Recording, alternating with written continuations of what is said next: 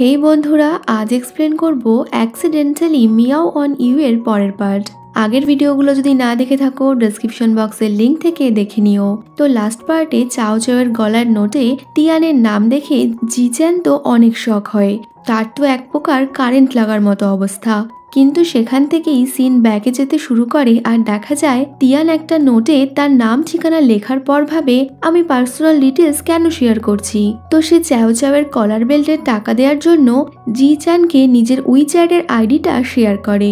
এরপর তিয়ান অফিসে যায়, কিন্তু সারা রাত কাজ করার কারণে তাকে খুব টায়ার্ড দেখাচ্ছিল। তিয়ান জিচানের সাথে কাজ করছিল, তখনই জিচানের অ্যাসিস্ট্যান্ট বলে, মিস্টার চ্যান, তিরিশ মিনিটের মধ্যে আপনার একটা মিটিং রয়েছে। কিন্তু অফিসের ড্রাইভার না থাকার কারণে জিচান তিয়ানকে বলে, তুমি আমাকে ড্রাইভ করে নিয়ে যাবে। কিন্তু জিচান জানতো না সে তিয়ানকে ড্রাইভ করতে বলে কতটা ভুল করছে।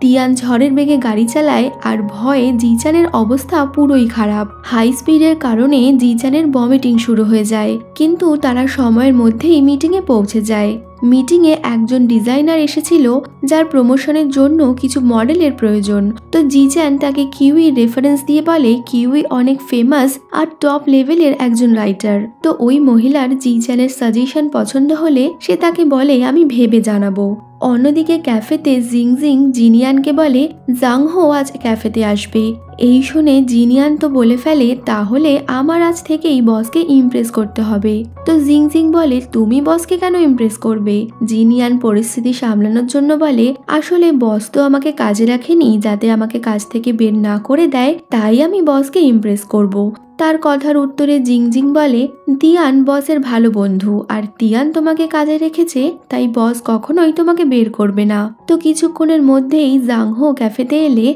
জিনিয়ান জাংহোকে ইমপ্রেস করার জন্য তাড়াতাড়ি উপর থেকে নিচে নামছিল। কিন্তু হঠাৎই একটা মাকড়সা দেখতে পেয়ে ভয়ে সে খুব জোর চিৎকার করলে জিংজিং ওই মাকড়সাটাকে মেরে দেয়, আর জিনিয়ান লাফিয়ে জাংহোর কোলে উঠে যায়। তো এরপর রাতে বাড়ি ফিরে তিয়ান দেখে জিচ্যান তাকে মেসেজ করেছে।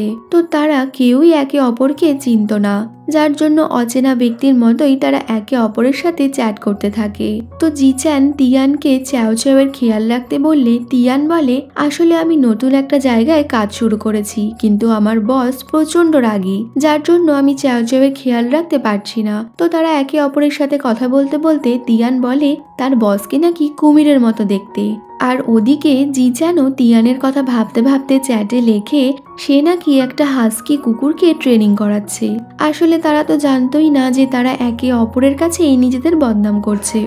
পরের দিন কিউই একটা প্রেস কনফারেন্সে যাওয়ার জন্য রেডি হয় যখন জিচান ও তিয়ান সেখানেই ছিল। তো কিউই দেখে তার ডিজাইনার ড্রেসের বোটা হারিয়ে গেছে। সে তো চিন্তায় পড়ে যায় কি করে ড্রেসটা পরবে, যার জন্য তিয়ান গাছের পাতা দিয়ে বউ বানিয়ে দেয়। আর কিউই সেই বউ পরেই কনফারেন্সে গেলে সেখানে থাকা সবাই তো এটা দেখে অবাক হয়। তো কনফারেন্সের হোস্ট কিউইকে দু চার কথা বলতে বললে কিউই তো জিচানের শেখানো কথাগুলো লাইন বাই লাইন বলতে থাকে। আর তার কথা শুনে সবাই ইমপ্রেস হয়ে যায়। এরপর কনফারেন্স শেষ হয়ে গেলে জিচান তিয়ানকে বাড়িতে ড্রপ করার জন্য তার সাথেই নিয়ে আসে।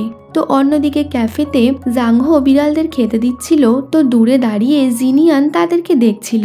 এর মধ্যেই জিনিয়ানকে কেউ ফোন করলে জিনিয়ান চিৎকার করে বলে, আমাকে একদম ফোন করবে না। এই বলে সে ক্যাফে থেকে তাড়াতাড়ি বেরিয়ে যায়। তো জাংহো তার কথাগুলো শুনছিল।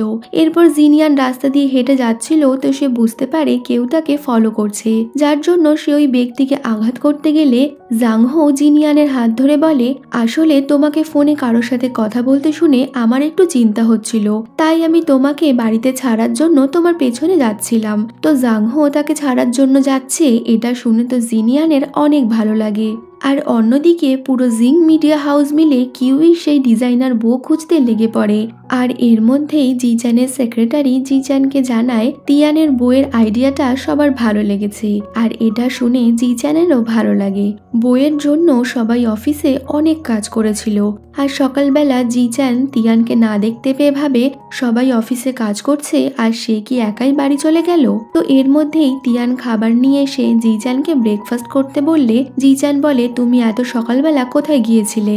তো তিয়ান বলে, অফিসের সবাই সারা রাত কাজ করেছে, তাই আমি তাদের জন্য খাবার আনতে গিয়েছিলাম, যাতে সকালবেলা কারও কষ্ট না হয়। তিয়ানকে সবাইকে নিয়ে চিন্তা করতে দেখে জিচানের ভালো লাগে, কিন্তু সে তা বুঝতে দেয় না।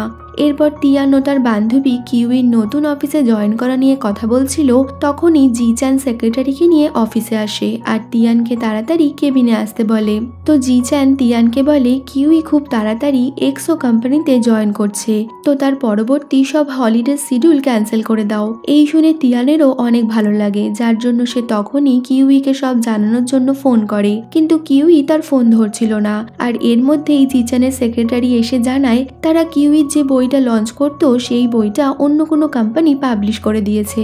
এরপরেই তিয়ান ও জিচ্যান কিউইর বাড়িতে গেলে তারা দেখে সেখানে অনেক মিডিয়ার লোকজন রয়েছে, যার জন্য তারা লুকিয়ে লুকিয়ে কিউইর বাড়িতে ঢোকে। কিন্তু ভেতরে গিয়ে কিউইকে কোথাও না দেখতে পেয়ে জিচান কিউইর বেডরুমের দিকে যাচ্ছিল, তাই তিয়ান বলে কারও পার্সোনাল লাইফে ঢোকাটা ঠিক নয়। কিন্তু জিচান তার কথা না শুনেই বলে, তোমার পার্সোনাল লাইফে আমার কোনো ইন্টারেস্ট নেই।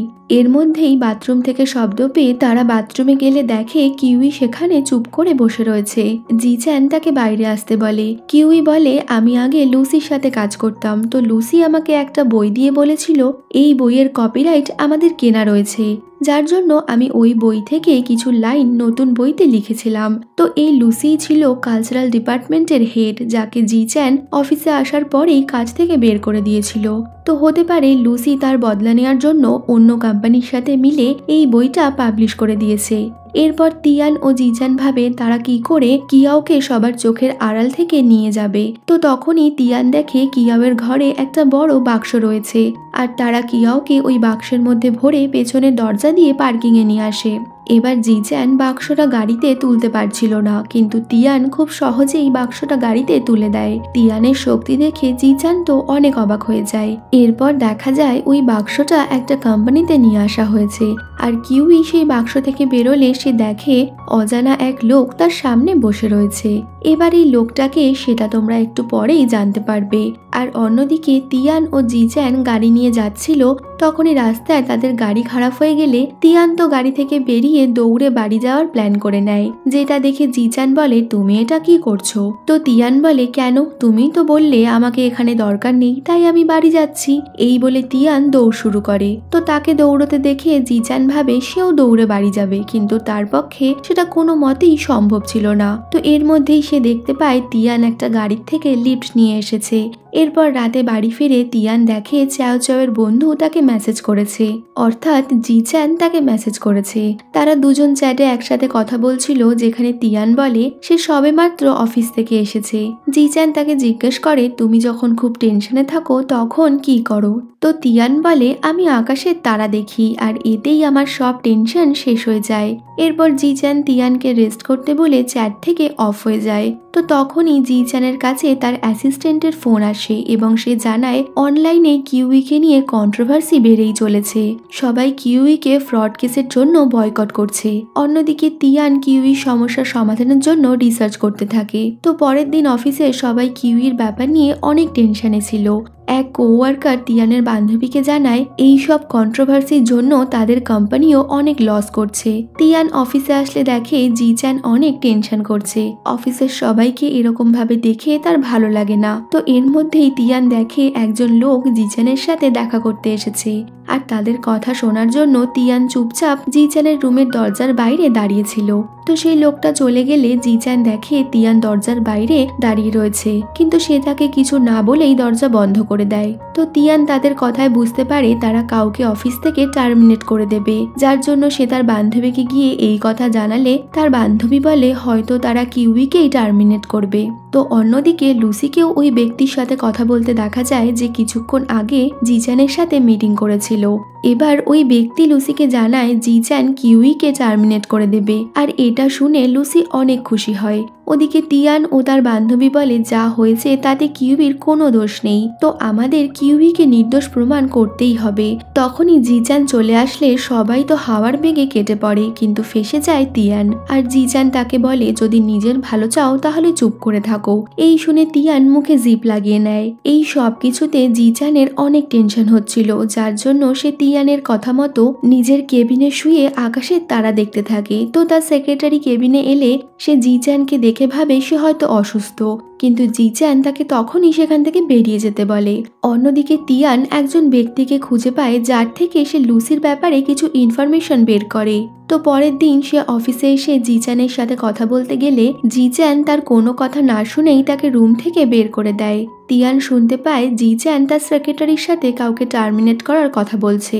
তো এরপর জিচান প্রেস কনফারেন্সের জন্য ঢুকতেই যাবে, তখনই তিয়ান এসে নিজের রেজিগনেশন লেটারটা জিচানকে দিয়ে বলে, আমি তোমার কোম্পানিতে আর কাজ করতে চাই না। তো আজকের ভিডিওটা এখানেই শেষ করলাম। এরপর এই সিরিজে কি হতে চলেছে সেটা জানতে হলে তোমাদের দেখতে হবে এর পরের ভিডিও যেটা আমি খুব তাড়াতাড়ি দিয়ে দেব। আর এই ভিডিও ভালো লাগলে লাইক শেয়ার কমেন্টের সাথে সাথে চ্যানেলটাও সাবস্ক্রাইব করে নিও।